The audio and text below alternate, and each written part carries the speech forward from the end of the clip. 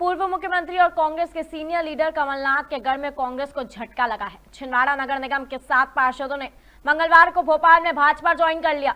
नगरीय प्रशासन मंत्री कैलाश विजयवर्गीय ने रात को अपने बंगले पर सभी को सदस्यता दिलाई।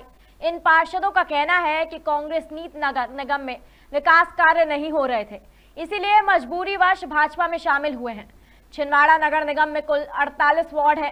पिछले चुनाव में कांग्रेस के 27, भाजपा के 20, जबकि एक निर्दलीय उम्मीदवार को जीत मिली थी। निर्दलीय चुने गए पार्षद ने बाद में कांग्रेस ज्वाइन कर ली थी। अब सात पार्षदों ने पाला बदलने के बाद बीजेपी समर्थक पार्षदों की संख्या 27 हो गई है। वहीं कांग्रेस पार्षदों की संख्या घटकर 21 रह गई है। ऐसे में निगम में कांग्रेस अल्पमत में आ गई है।